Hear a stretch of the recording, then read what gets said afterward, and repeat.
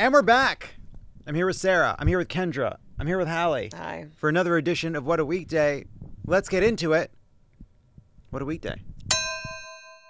On Friday, Donald Trump addressed a Christian audience in West Palm Beach, Florida, and told them this Christians get out and vote just this time. You won't have to do it anymore. Four more years, you know what? It'll be fixed, it'll be fine. You won't have to vote anymore. Continued Trump, enough of this pesky voting. Christians need to spend their time doing what Christians love kissing pictures of Jesus, praying for me to win at golf, whatever you freaks are into. I mean, whatever us freaks are into.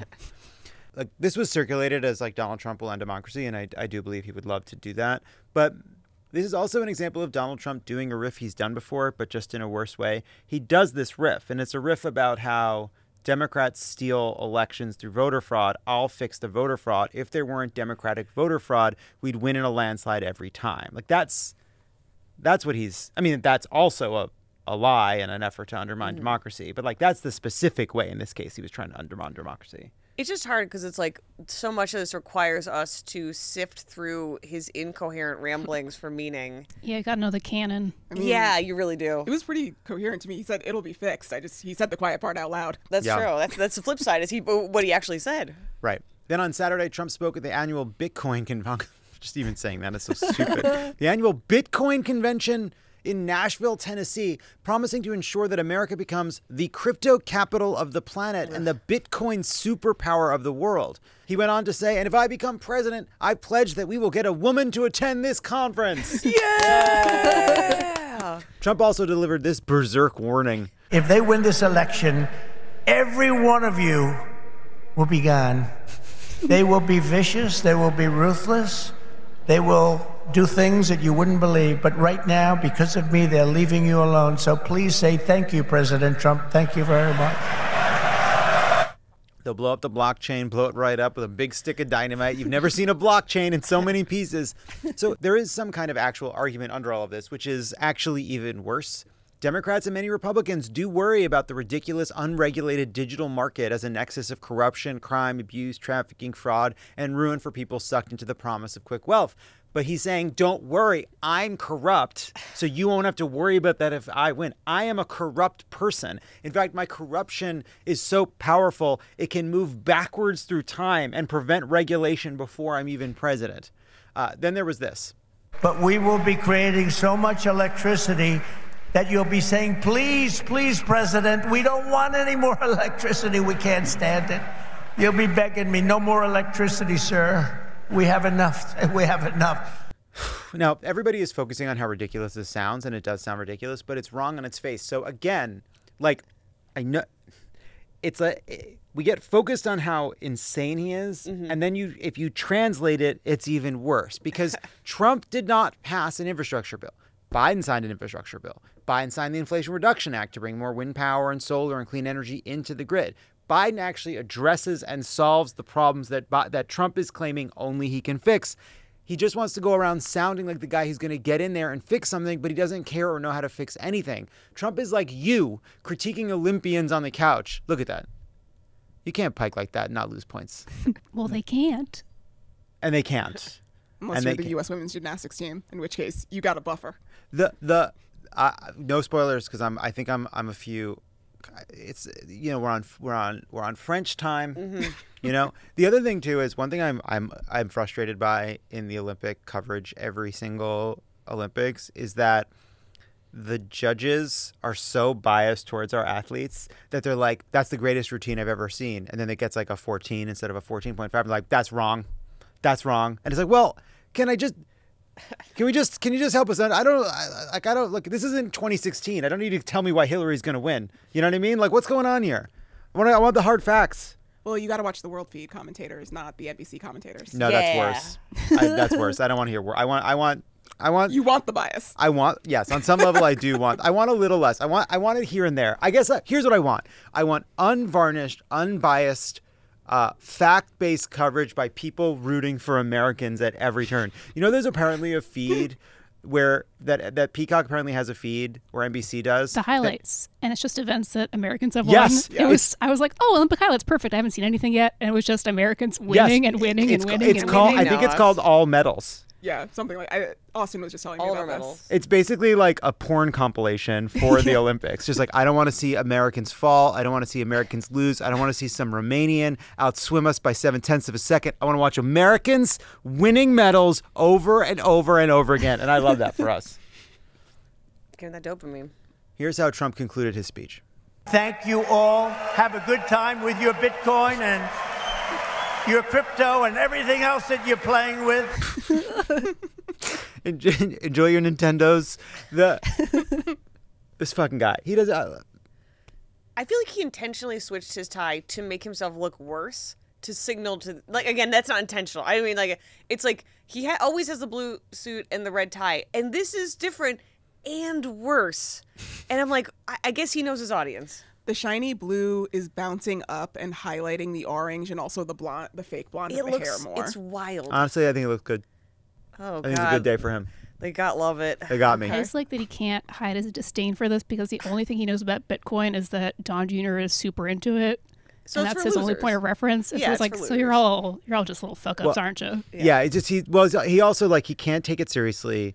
It's so stupid. He know he, he listen. The man knows a scam, Yeah. and he's only here because Don Jr. is into it, and his rich donors are into it. He's got the backing of these rich crypto people that are that are basically treating Trump as just a direct investment, right? Mm-hmm. Let's invest this money in Trump. He'll protect crypto. We'll make more money.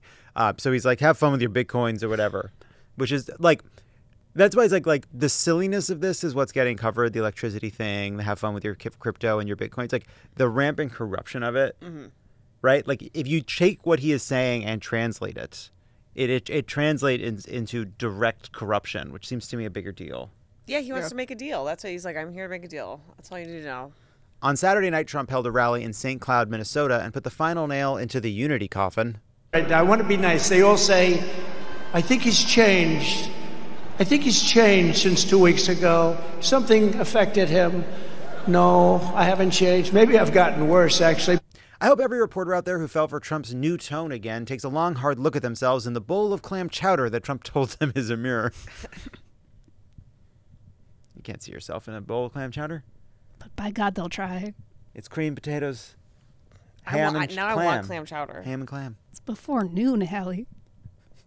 I the cover this morning. all Are you not clam supposed o'clock to eat, somewhere. Wait, are you not supposed to eat clam chowder before noon? Yeah, chowder I'm o'clock somewhere. Before Labor Day? Never had it myself, but I didn't know there were rules. You've- yeah, I'm sorry, you've never had clam chowder? I'm very allergic to shellfish. Oh, right. Remember when um, Kendra had to leave the room when we were in Maine eating lobster rolls because we decided that we'd rather a world with lobster rolls and without Kendra? I'm so sorry. It would have just been projectile vomiting. We were outside at least. Trump claimed that if he doesn't win in Minnesota in November, it will be because the election was stolen. If they don't cheat, we win this state easily, okay? They cheat. They have no shame. They cheat. Do you understand that, you crooked people? They're the most crooked. They cheat. They cheated in the last election, and they're going to cheat in this election, but we're going to get them. Always nice to get a name check. Uh, worth, worth noting, too, that he's in Minnesota, which is probably not where he would go had he known that Kamala Harris would be the nominee because the polling out of Minnesota has gotten.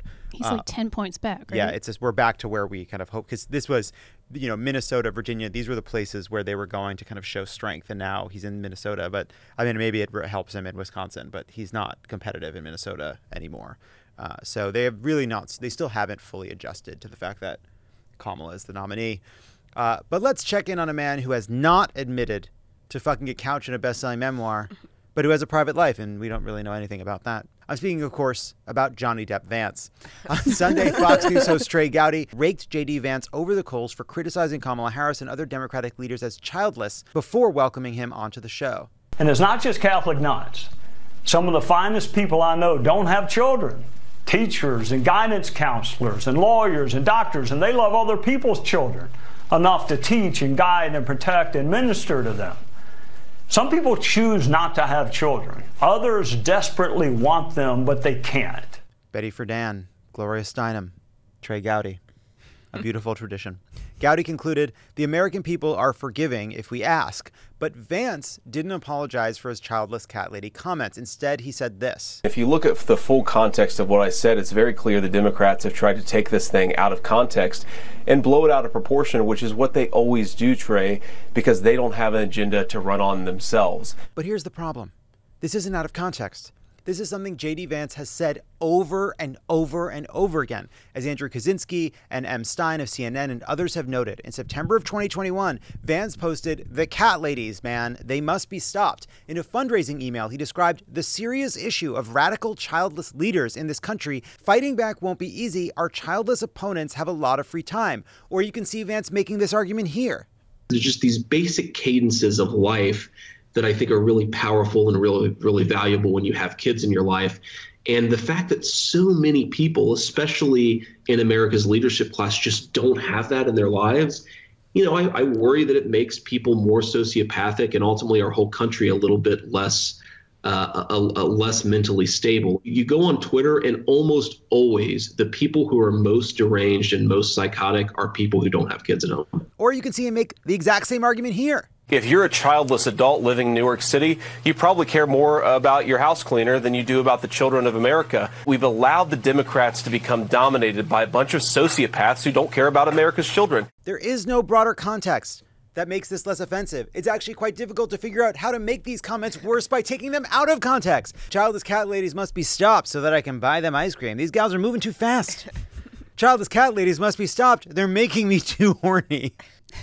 Vance also tried to defend his comments by lying about Kamala Harris's position on the child tax credit. I think a lot of parents and a lot of non parents look at our public policy over the last four years and ask, how did we get to this place? How did we get to a place where Kamala Harris is calling for an end to the child tax credit? How did we get to this place I made up? And furthermore, who put all these sexy, sexy couches here? Kamala Harris is not against the child tax credit. Democrats are for the child tax credit. Democrats are who push for the child tax credit. If the child tax credit has been extended, it has been because Democrats fought for it and Republicans uh, eventually acceded to it as part of a negotiation. Right now, there's an extension of the child tax credit that's locked up in the Senate because they don't have the votes. Why do they not have the votes? Because of Republicans. There is like we don't need to like it is just such a clean argument like democrats are for the child tax credit republicans aren't. There is like a deeper philosophical substantive point that jd vance is making here and the way he often has made it in the past like if you get into this sort of like you know traditional conservative argument like one what he has said in the past is uh, i am i am more i am more open to an extension of the child tax credit than i am to a universal child care benefit. Why? Because their view is universal child care subsidizes parents who both work, which they view as not as good as having a stay at home parent, which they mean a stay at home mom. And so a child tax credit doesn't push, doesn't reward both parents for working. It just rewards you however you want to raise your children. However, how this manifests is they oppose both, but oppose one more, right? In both cases, parents are not getting the help they need uh, uh, financially to raise children. It is Democrats fighting to provide families with that help and to provide resources to people who might want to have families. The only way in which Republicans are trying to incentivize people to have children is to call them bad people if they don't have kids. That's it. You we we will make it illegal for you to make choices about your body so you have to have children and then once you do, you're on your fucking own and if you do a bad job, that's on you. If you don't have kids, that's because there's something wrong with you. Like what a fucking like even if you take it in the most generous way possible, it is a despicable worldview.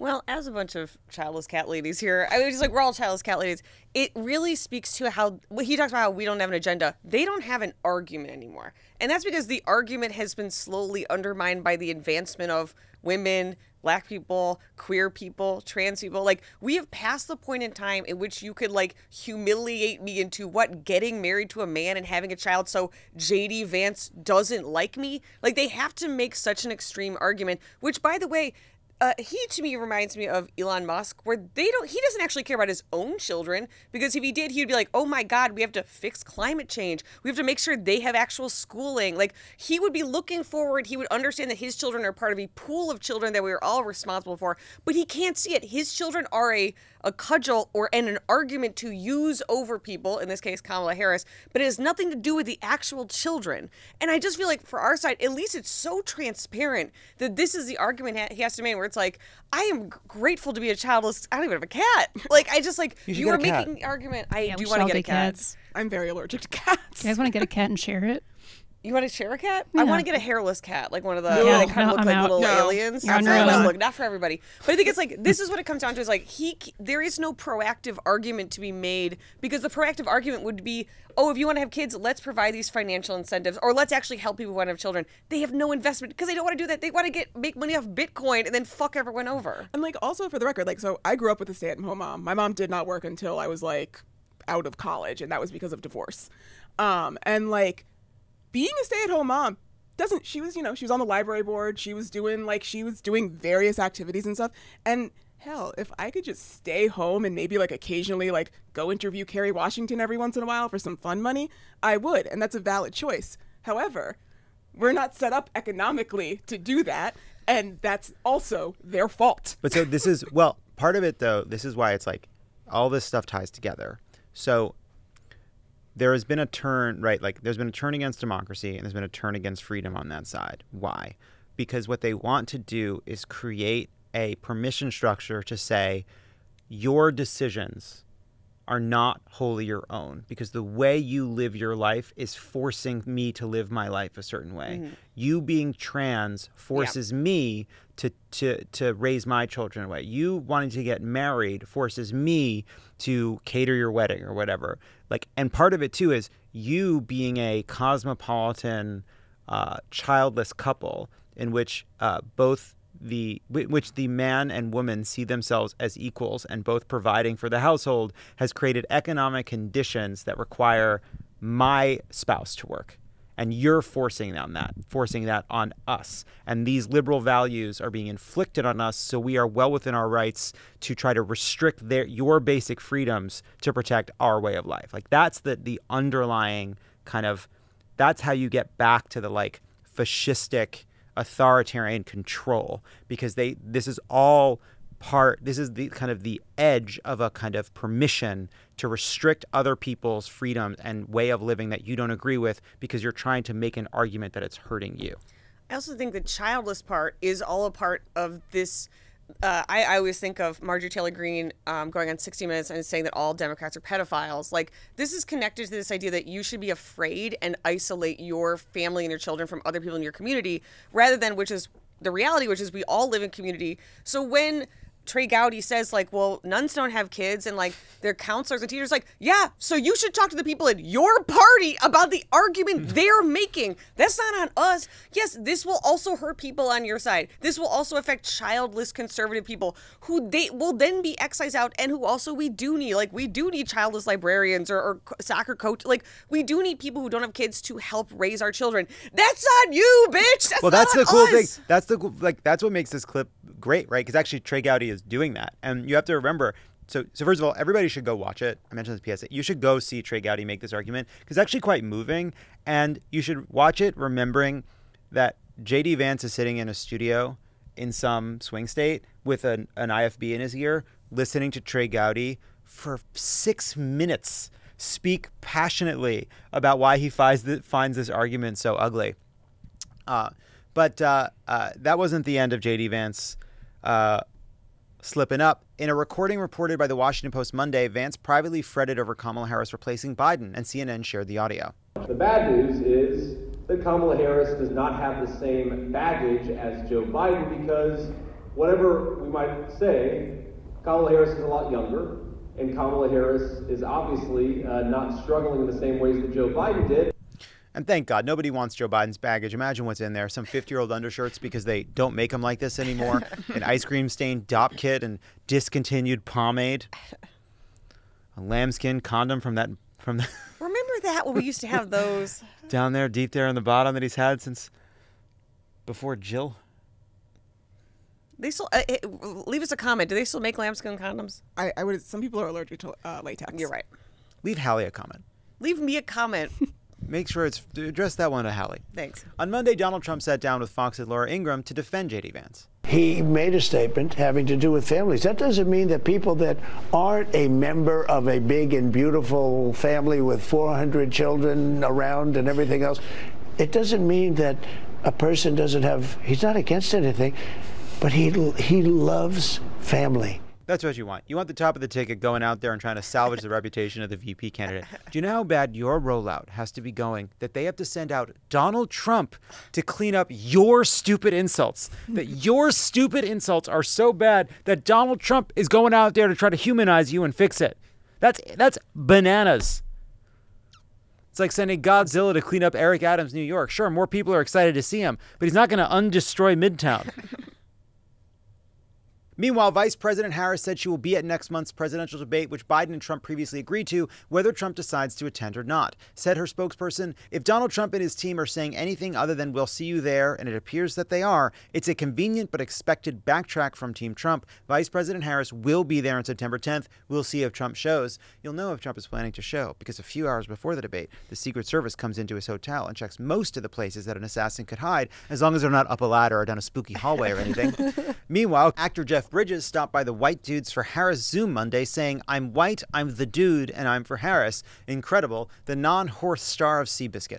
The Zoom call had over 140,000 attendees signed up and raised over $2.5 million. And that sounds impressive until you found out that they raised $5 million to bring David Crosby back to life. Those white dudes. Yeah. Because it was white dudes.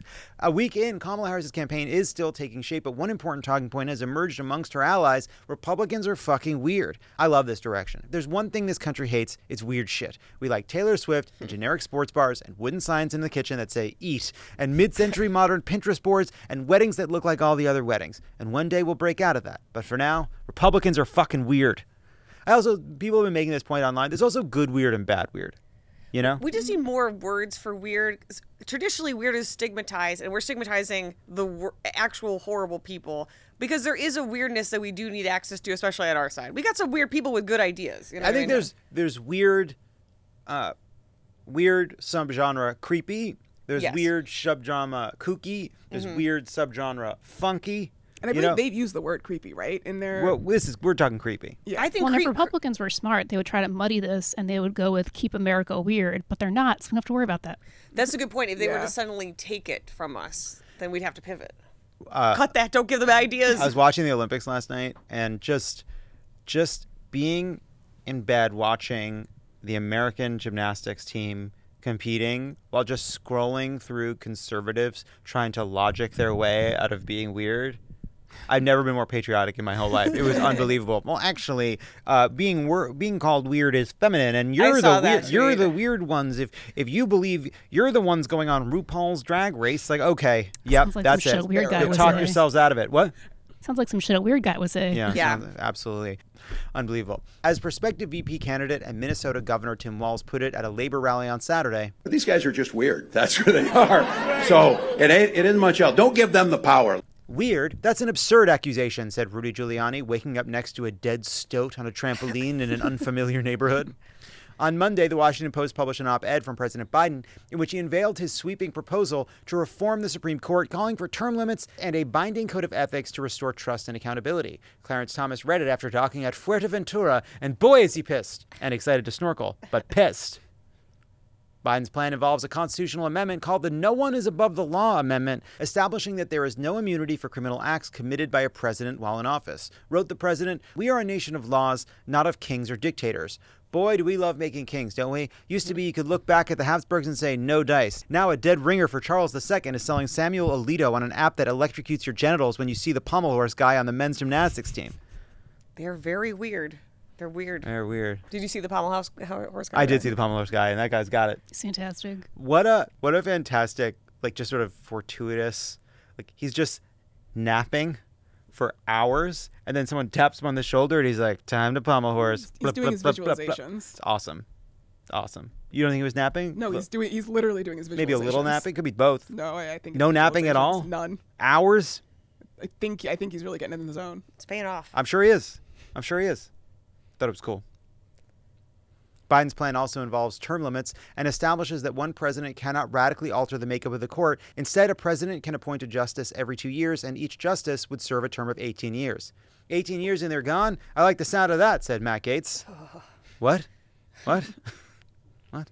Concluded Biden, in America, no one is above the law. In America, the people rule. Well, not everyone. There are people in America who sincerely use the word hubby, and those people don't rule. But everybody else, Kendra, have you ever used the term hubby? I sure have not.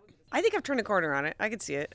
Not for me, but for others. I feel like a lot of a lot of words like that. The first use, it's like the fist bump. It like it starts out ironically, Mhm. and then over time Yeah. it simply becomes part of your personality. So I've heard multiple use the term uncomfy as uncomfortable, and I think we got to stop that right now. Yeah, I don't like that. It's sort of like the Australian, uh, the the instinct to cutesify everything, like brekkie. I find Oh, that yeah. just Brekkie. uncomfortable. Yeah, I don't like that either. I don't like that either. And it's purely aesthetics. There's nothing actually wrong with it. No, Is th- I mean, but there, it feels like there is. They also It say does- exy well, for expensive. it, there's something about kiddos. This all stems from kiddo discourse. I actually I hate kiddos. Right, and it and it does seem like there is more to it than there is something. Is it related to doggos? Yes, kiddos, doggos, and it it it does. I think our like discomfort with it mm-hmm. Is more than aesthetic. There is something about It's a self infantilization. RuPaul says kiddo a lot. That's where I've been hearing. well, it. so I don't. I think that like a kind of like like I don't know an old school Hollywood film executive saying kiddo That's fine. we love, Yeah. but it's like referring to your kids as kiddos and doggos. You think it's infantilizing? Yeah. I, I think it's Disney adult adjacent. There's something to it where it's like you're allowed to enjoy it, but to make it part of your personality seems a bit much. A bit much. Right. It's a kind of like performance of. It's like an affectation that implies a, ha- a yes of youth. Is it, is it? But it's like there's a. A guileless youth. It's um gu- guileless, but also like a kind of um utopia quality to it. Like Yes, yeah. this is a TV version of being people. I think we talked about this at one point too. That it's not funny, but it's like a stand-in for being funny. Like it's sort of Yeah. joke shapes. Yeah. And that's yeah, from the internet. right. Like I feel like it's like you could sort of like that's of a millennial in- internet. So imagine if you're Gen Z, you also meet people who you're like, well, that's just from TikTok. You don't have to like talk like that in real life. Uh, meanwhile, after Biden proposed the constitutional amendment and Supreme Court reforms, House Speaker Mike Johnson called Biden's plan dead on arrival. Coincidentally, that's the title of the Project 2025 chapter covering what to declare pregnant women with a fever waiting in hospital parking lots. That was a tough one. Biden was told by a reporter that Johnson called his plan dead on arrival on a noisy tarmac. Uh, let's read the official White House briefing transcript of the moment because it was so hard to hear. Speaker Johnson said it's dead on arrival. Biden replies, I think that's what he is. Then the reporter says, That he is? Then Biden says, That he is. Dead on arrival. He later walked it back, saying that the Speaker of the House is dead on arrival, saying some version of his ideas are dead on arrival. Uh, uh, because obviously that was, I think, too intense. but it wasn't a big deal because everyone basically gets that Biden being president now is like a straight A kid after the APs, but before graduation. Even the teachers are glad they're finally experimenting with being a bad boy. Ooh, you cut class. You said the Speaker of the House is dead. cool, go for it. Have a good time. You've been working so hard. You've earned it. The Paris Olympics, which you've already been discussing because we're patriots, began on Friday with an opening ceremony featuring heavy metal, shooting flames, and a chorus of decapitated Marie Antoinettes. Asseyez, asseyez, asseyez. Les aristocrates, on les love pendra.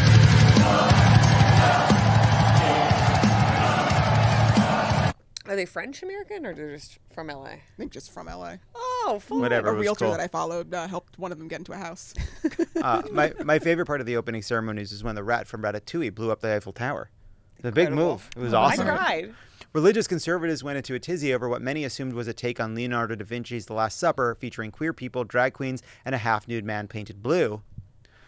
In Paris, of course, they just call this a dinner. However, the, the ceremony's creative director clarified that it was not the Last Supper, but rather a Greek bacchanalia, a Kinsey 3, in other words. The, it's also like amazing that American American conservatives saw this, decided to be angry because it reminded them of an Italian painting of a of a uh, uh, a famous moment in the Bible, which is itself in part inspired by other pagan rituals and iconography. And also, this is maybe the pedantic point where it's like, well, the whole point of Jesus is that he hung out with tax collectors and sex workers. Like, this is of a piece of what Jesus actually was into.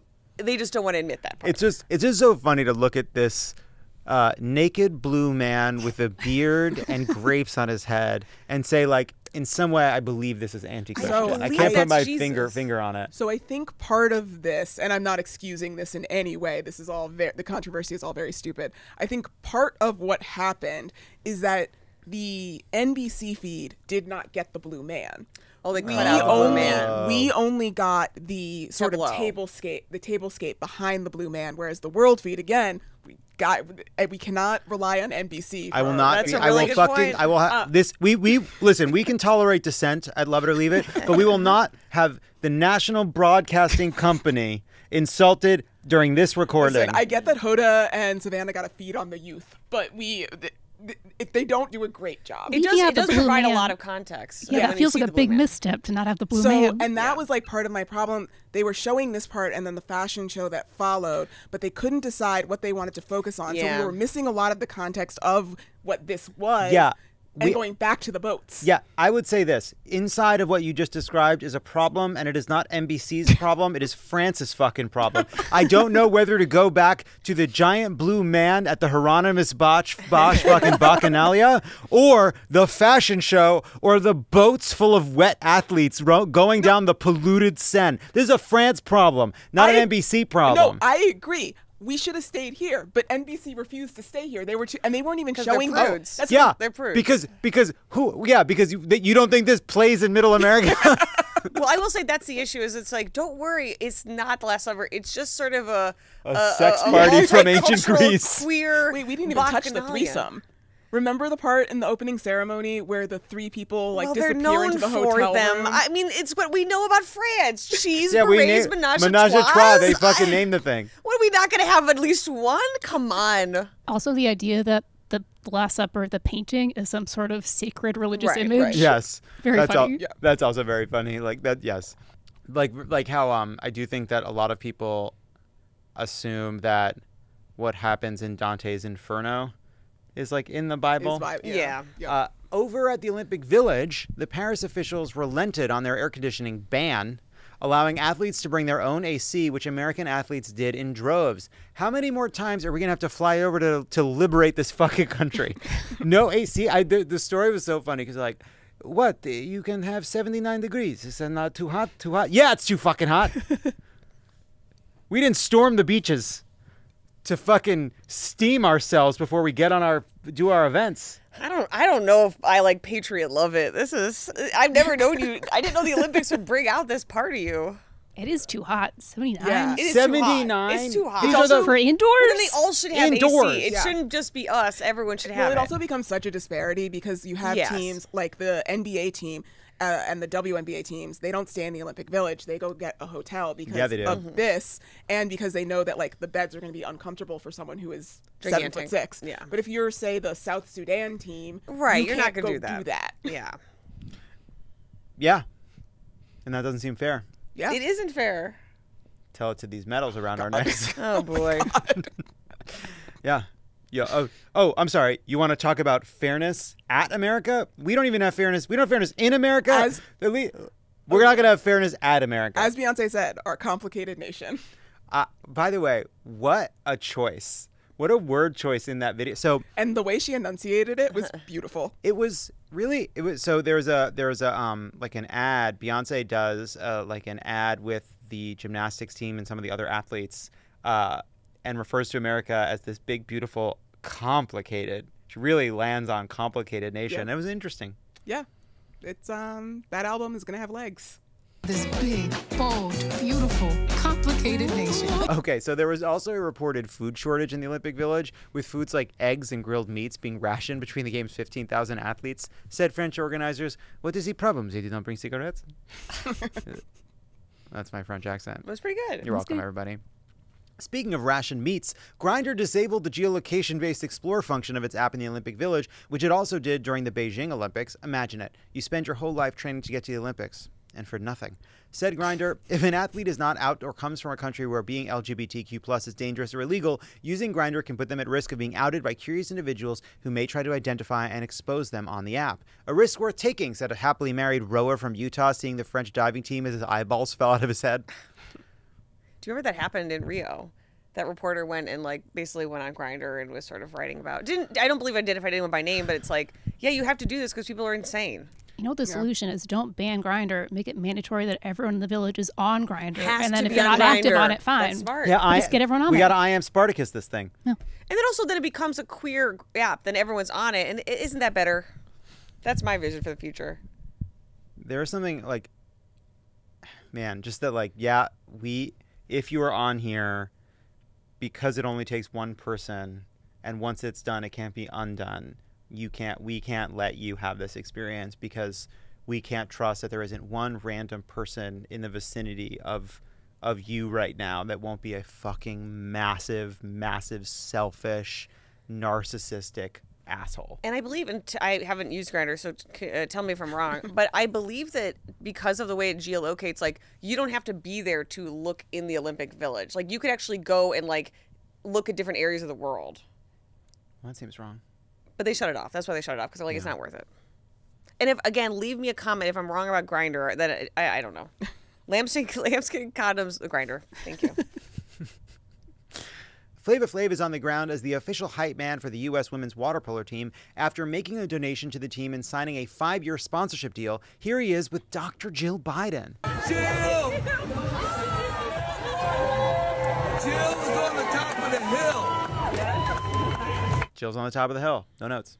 Uh, the rapper reportedly got involved after U.S. Captain Maggie Steffens took to Instagram to ask for financial help, explaining that she and her fellow athletes have to work two or three jobs to survive despite the team winning three consecutive goals. Absurd. Water polo players should not have multiple jobs. Have you seen water polo? How long do you think you could play water polo without drowning? I give myself three minutes, and that's if, and that's if I'm well outside the action. That's just treading water. it looks so hard. They, It's they do- insane. They, just tread water. and then they're swimming back and forth. Back- it's insane. The thing that impresses me the most is the way that they catch the balls and then are able to release them. Because at least in football, when you're catching, your glove is almost like Velcro. Mm-hmm. Whereas with this, it's just a wet ball. and you're into standing wet on the ground in football. Yeah. Yeah. yeah, These when they're people are- throwing these balls, their their waists are out of the water, Yeah, and they they're just so jumping high. from water. Wrote Flav in a reply, as a girl dad and supporter of all women's sports, I'm a personally sponsor you, my girl. Whatever you need, I'm a sponsor the whole team. My manager is in touch with your agents, and I'm going to use my relationships and resources to help y'all even more. That's the beauty of America. Do we have a modern social welfare state up to the task of keeping everyone safe and healthy in a dynamic global economy? No. But once in a while, a wealthy celebrity will come down like a benevolent alien to solve all your problems. So fingers crossed. Meanwhile, the coach of the Canadian women's soccer team got busted for using a drone to spy on their opponents during training and gather information about their play. Oh, I'm a big cheater, eh? said the coach in a comment to Beaver and Snow magazine. On Monday, the U.S. That was just for me, that one. On Monday, the U.S. men's gymnastics team clinched an Olympic medal for the first time in 16 years after a man who was brought onto the team exclusively for the pommel horse event absolutely crushed it on pommel horse. It's good to have a specialty, to be absolutely irreplaceable at something. Oh, you could We be almost we replaced. were very late today. We almost had We David could do this. replace you like this. Stephen Stephen Niordisic. Have you heard it said? No. I have not heard it said. Stephen Nidorisic. Nedor- Nidorisic Nailed it. No, each one is right. You're, each time you say it, it's, it's more correct. spent most of the competition sleeping quietly or, mm-hmm. as Kendra noted, visualizing. Visualizing. That's what I'm also doing with my eyes are closed, awaiting his moment on the pommel horse. These people are really gifted with superhuman talents. I can't even fall asleep in my own bed. That's what makes them one of the greats. One of the greats. When pommel horse time arrived, Niordisic, Nidorisic, Nidorisic. That feels right. Nedorosic? Nidor- what? Nedorosic? Nidorosic. That's totally what it is. And here's the thing: he's from Worcester. He could be saying it any kind of way. Oh, that's yeah, true. It's pronounced Nick.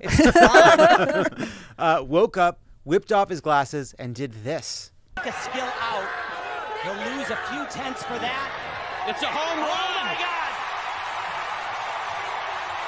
God. Good thing. I too want to be good at something so specific and difficult most people would never even try it. Unfortunately, I chose podcasting. And here we are. Is that it? Is that the last joke? Beaver and Snow magazine. I have every issue. Beaver and Snow magazine also had uh, Moose and Syrup magazine. That was my alt. Eh, not my fave. I think Beaver and Snow was right. Beaver and Snow was right. I don't think it's great, but I think of the options, it was better. I like it. um, Poutine Quarterly. Okay. Moose and Mountie.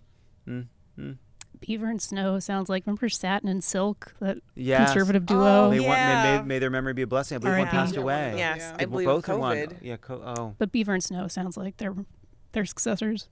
Uh, well, listen. Uh, I hope everyone else enjoys the Olympics and that their blood also runs red, white, and blue until it's over, and hopefully beyond. Frankly, at this time. Frankly. and frankly, I hope beyond. And uh, we got a great show this Saturday. We're gonna have uh, Ron Perlman, Wayne Brady, some other great guests, and uh, so we'll see you sled Saturday. God bless America. Bum bum ba dum bum bum no helping bum bum ba dum bum bum bum ba bum bum bum no one chimes in bum bum one time dun dun dun dun dun dun da da never help me dun dun dun dun dun. You got this. I would love You to see this this. level of enthusiasm in Milan. All right, we're done. All right, before we go, we have another exciting Vote Save America update. We've now had over 27,000 people sign up for Vote Save America's 2024 volunteer program, Organize or Else, including 10,000 since Harris's presidential announcement. And those folks have already reached over 1 million voters. This is a historic moment in U.S. politics. We have 100 days, less than 100 days now, all right, to sway this election, but we need your help to have a fighting chance in November. As Bradley Whitford said on the White Dudes for Kamala call yesterday, you can sign up at votesaveamerica.com. You go to votesaveamerica.com slash 2024 and you click sign up to get started. We really need everybody now in the home stretch. Basically, when you sign up, you will be pointed to the most effective way you can make a difference either with your dollars or your time between now and election day. This message has been paid for by Vote Save America. You can learn more at votesaveamerica.com and this ad has not been authorized by any candidate or candidates committee, but it has been authorized by me to say sign up at votesaveamerica.com slash 2024. Please, we need more of you to do it. Not enough of you have done it.